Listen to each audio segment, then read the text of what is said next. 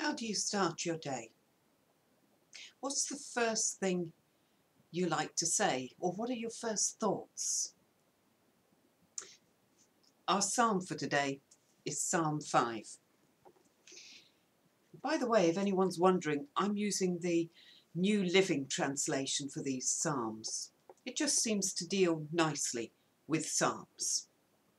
Psalm 5.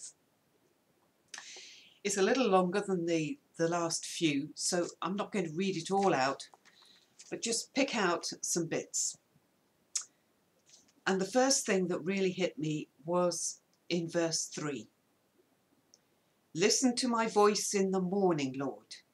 Each morning I bring my requests to you and wait expectantly. Each morning I bring my requests to you.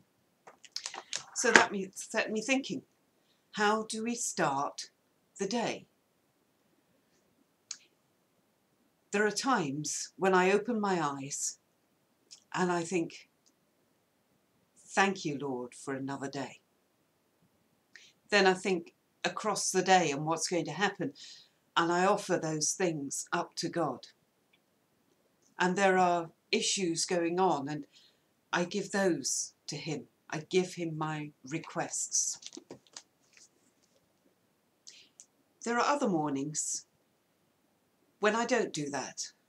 Perhaps when I'm in a hurry. Um, I've slept a little later than I wanted to and I just jump out of bed and just get on with the day. And nothing seems to go right. Not because I started late, but because I didn't give it all to God first thing in the morning. Listen to my voice in the morning, Lord. Each morning I bring my requests to you and wait expectantly. There's the other thing. Do we just throw out our, our prayers to Him and then carry on regardless? Or do we give Him our requests and then expect an answer? Wait expectantly. Reminds me of the prayer meeting um, in a place that was very dry and they were desperate for rain. And so the, the church prayer meeting had got together and everyone prayed for rain.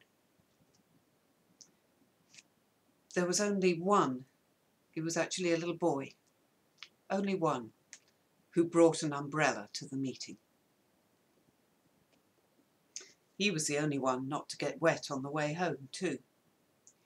He expected God to answer.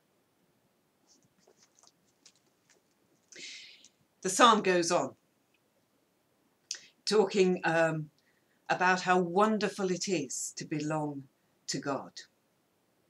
Verse 7 Because of your unfailing love, I can enter your house. With deepest awe, I will worship at your temple. Lead me in the right path, O God, or my enemies will conquer me. Tell me clearly what to do and show me which way to turn.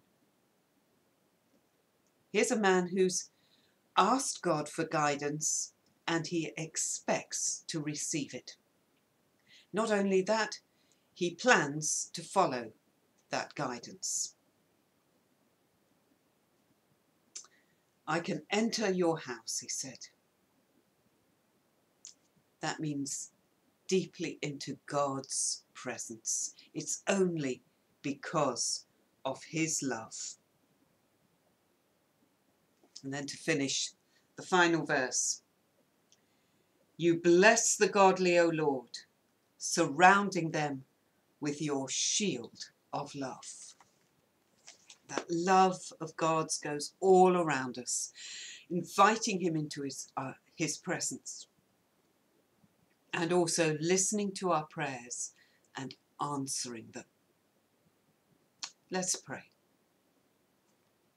Heavenly Father,